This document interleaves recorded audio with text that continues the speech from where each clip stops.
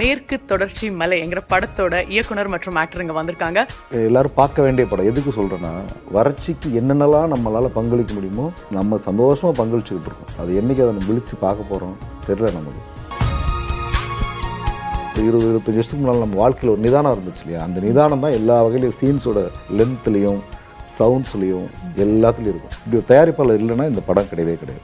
Fog வழங்கும் நட்சத்திர ஜன்னல். ஞாயிறு காலை பதினோரு மணிக்கு நமது புதுயுகத்தில்.